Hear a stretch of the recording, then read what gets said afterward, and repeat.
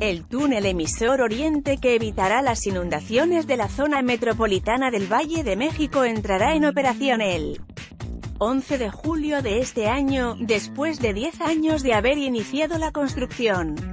La jefa de gobierno capitalino, Claudia Sheinbaum, y la titular de la Comisión Nacional del Agua, con agua, Blanca Jiménez Cisneros realizaron un recorrido por la obra en conjunto con funcionarios del Estado de México, ya que no asistió el gobernador Alfredo del Mazo.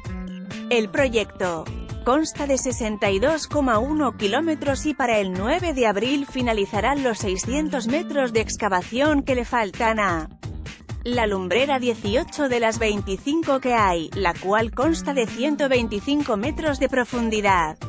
Pero hasta el 10 de julio acabarán con el revestimiento y todavía faltan 11,7 kilómetros de esta lumbrera.